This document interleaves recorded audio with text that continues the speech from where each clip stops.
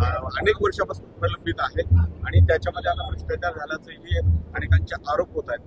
प्रशासनाला तुम्ही खडसावलेला आहे. काय नेमका प्रकार आहे आणि काय अपेक्षा आहे? माझी अपेक्षा एवढीच आहे की जी लोकांना आता गेली जवळजवळ दोन वर्ष झाली खूप त्रास होत आहे. लोक वेळोवेळी माझ्याशी संपर्क करत आहे आणि लवकर रस्त्याचं काम पूर्ण करावं. ज्या कॉन्ट्रॅक्टरला हे काम दिलेलं आहे ते वेळोवेळी त्याच्यासाठी मुदतवाढ मागून मागत आहेत आणि ते काम वेळेवर होत नाहीये. म्हणजे मी आमदार झाल्यापासून उन्हाळा गेला पावसाळा गेला हिवाळा गेला तरी आहे तसंच काम चालू आहे. आणि काम काही पूर्ण होत नाहीये. तर त्याच्यासाठी मी पत्र दिलेलं आहे की लोकांची हेळसांड होऊ नये आणि लोकांना त्रास होऊ नये. वाकडसारखं परिसर हा चांगला अद्यावत झाला.